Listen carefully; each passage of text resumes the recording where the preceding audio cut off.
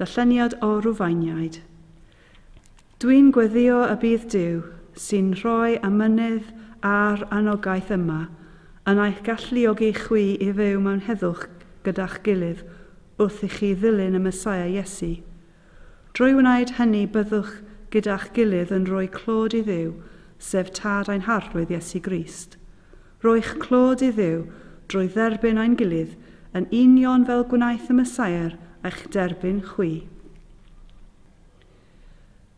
Ddew grymus, bwyd i hydra dy ysbryd a'n trasnewid ni, bwyd i dynerwch dy ysbryd a'n harwain ni, bwyd i rodion dy ysbryd a'n harfogi'n a'n danfon ni allan i'r byd, gydag angerdd i wasanaethu drwy Iesu Grist a'n harlwydd.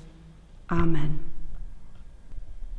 Dad dragwyddol, Yr ysgynodd y fab Iesu Grist i'r seddfaen cnef, iddo dynasu dros bob dim yn arglwydd ac yn frenin, cadw'r erglwydd yn un dod yr ysbryd, ac yn rwymi'n tangnefydd, a dŵg o'r holl greadigaeth i addoli wrth ei traed ef, caniata hyn er mwyn dy fab Iesu Grist, yr hwn gyda thier ysbryd glân, yr bwrdernas a gallu a'r gogoniant yn oes oesoedd.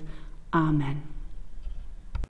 O ddewain tad, yr wyt ti'n ein harwain ni ar hyd llwybrau cyfarwydd ac angyfarwydd.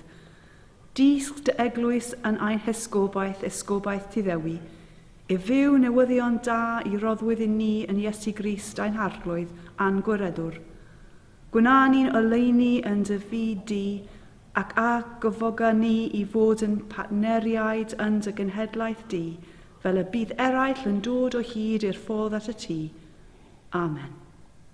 A'n tad yn y nefoedd, sancteiddio dy enw, deleg dy deyrnas, gwynela dy ewyllus ar y ddeiar fel yn y nef, dyro i ni heddiw ein bara baenyddiol, y maddau i ni ein tryseddau fel yr un ni wedi maddau i rai o dryseddodd yn ein herbyn, a ffaid yn dwy ni brawf, ond gwared ni rhag yr un drwg oherwydd a'i ddod ti yw'r deyrnas, a'r gallu, a'r gygoniant am byth.